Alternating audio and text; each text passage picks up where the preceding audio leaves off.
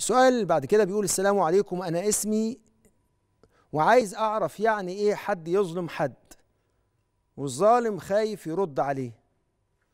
ولا حاجة الظلم دوت أشكال وأنواع. وكل أخذ حق من حد بغير وجه ده ظلم. افرض واحد خد مكان حد في وظيفة بالتحايل. ظلم. افرض واحد بس أنا عندي مشكلة اقولها لك. بس الأول خالص أذكر بس الظالم بأن الظلم ظلمات يوم القيامة. أن الظلم ماذا؟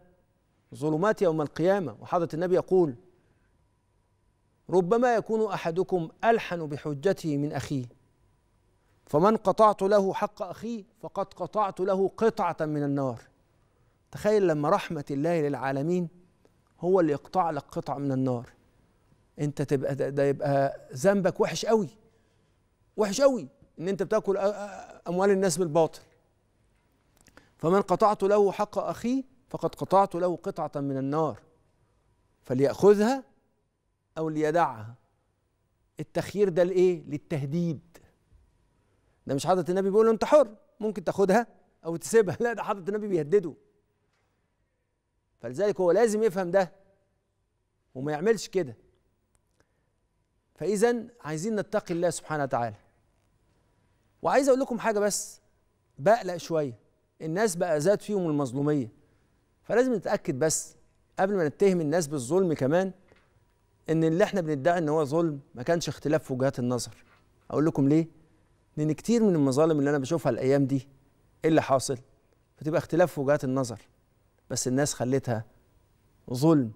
وعشان كده عايزين نتقي الله سبحانه وتعالى ونكون دقيقين في وصف مظالمنا عند الناس. يا أيها الظالم ارجع فإن لك مسافة ولك عودة ورد المظلمة لصاحبها لأن المظلمة لو بقيت أنت لن تتحمل عقاب المظلمة يوم القيامة. وأيها المظلومين ويا أيها المظلومون إيه اللي حاصل؟ تأكدوا إن ده ما كانش فيه إيه؟ اختلاف في وجهات النظر. لأن ممكن وأنت بتدعي إن أنت ليك مظلمة تكون أنت اللي وقعت في الظلم. وعشان كده نكون من أهل الاتزان. إحنا النهارده اتكلمنا عن معنى من المعاني اللي بتنقذ الناس من الموت التكافل. التكافل يا سادة اسمعوا مني. طوق نجاة. يا ريت تكون انت اللي بتقدم الطوق النجاه دي للناس لأن من احياها فكأنما أحيا الناس جميعا. خليك طوق نجاة للناس بالتكافل.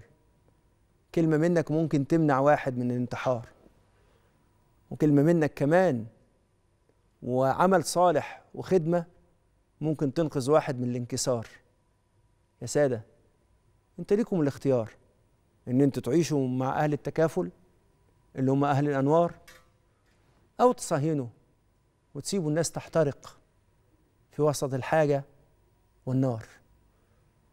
اللي بينقذ حد من النار ملوش مكان غير في جنة مدد الله سبحانه وتعالى في الدنيا والآخرة.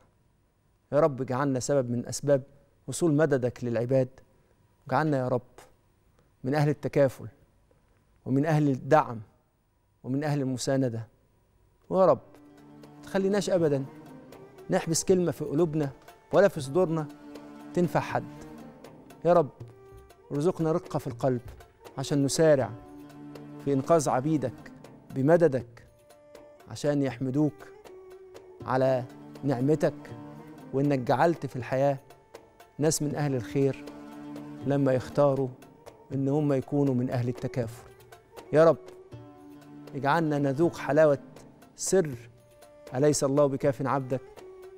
عندما تجعلنا من العبيد الذين يسيرون بين العباد بالتخفيف والتيسير والفتح لكل أبواب مغلقة. الهمنا يا رب المدد والعون واجعلنا نعيش في كرمك. يا أكرم الأكرمين.